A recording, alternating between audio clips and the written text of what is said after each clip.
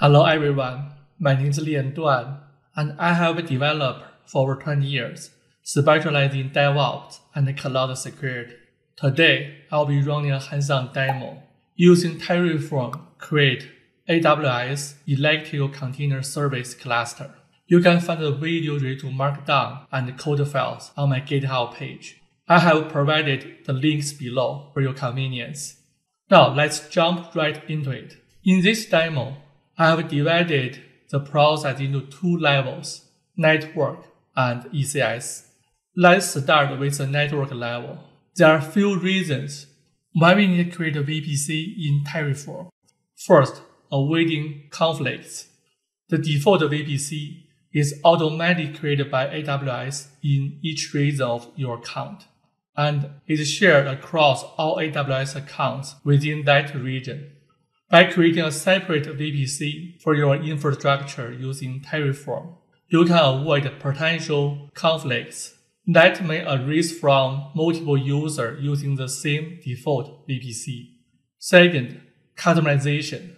When using Terraform, you have the opportunity to define your VPC, subnets, route tables, security group, and other network components according to your specific requirements. Third, isolation and security. Creating a dedicated VPC for your infrastructure enables better isolation and security measures. Latest, portability and reproducibility. Terraform provide a consistent and reproducible infrastructure provisioning process. By defining your VPC and related resources in Terraform code, you can easily replicate the infrastructure setup across different AWS accounts and regions.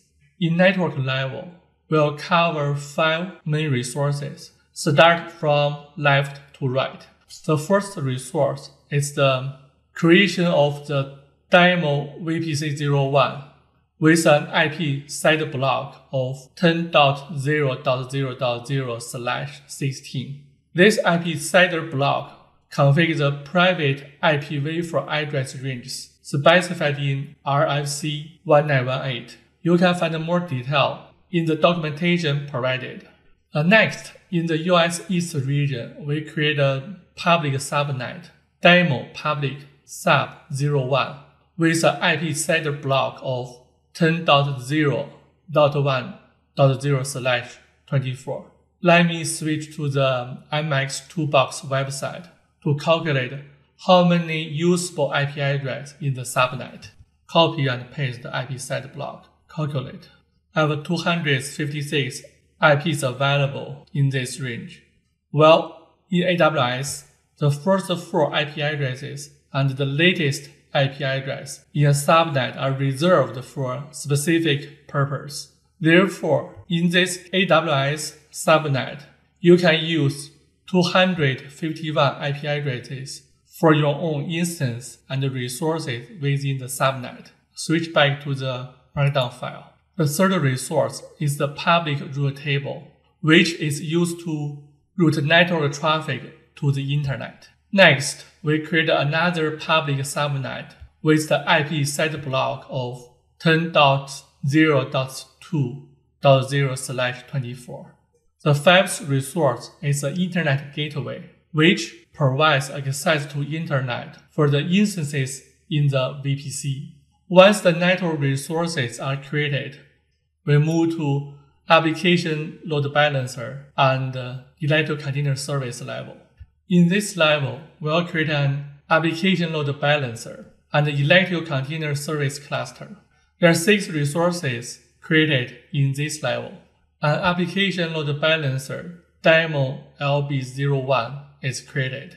Security group and target groups are created demo target cluster is created. A demo NGX task definition is created. Based on the task definition, a service with two desired count is created. Finally, a security group is created that only allow ingress data traffic from application load balancer. Do not worry about if the architecture seems complex. I'll break it down to six steps for you. First, make sure you have Terraform installed on your development box. Have videos available for both Windows and Linux installation. Also ensure that your AWS command line interface is configured correctly. In my case, the command line interface user is in the admin group. Next, in your project, you need to meet the certain requirements.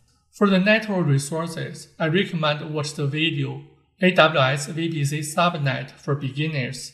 It covers all related concepts. If you have any questions, please put a comment below. I'll try to answer. Use a different AWS user for the AWS UI, but make sure it has the same permission as the AWS command line interface user.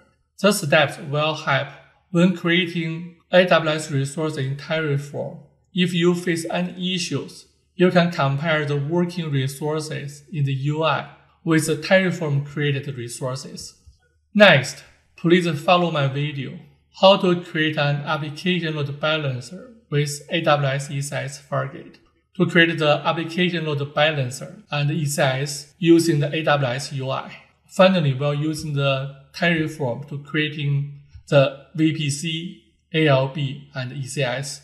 The detail is in the main.tf file. Move a little bit down. You see all VPC ECS and ALB resources.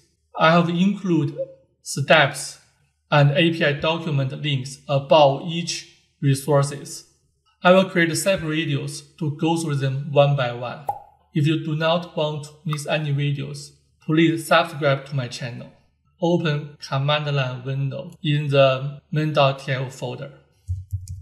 Run terraform space apply to create all resources. Yes, enter yes. The creating process take a time. You see the message 15 resources are created. Copy the load balancer DNS name and paste it to the browser. If you see the message, hello, welcome to Terraform hands-on demo, it means the creation was successfully. Back to the markdown file. Do not forget to run the Terraform destroy when you are finished your exercise to save your money. Enter. That's all for today's video. Thank you for watching and see you in the next time.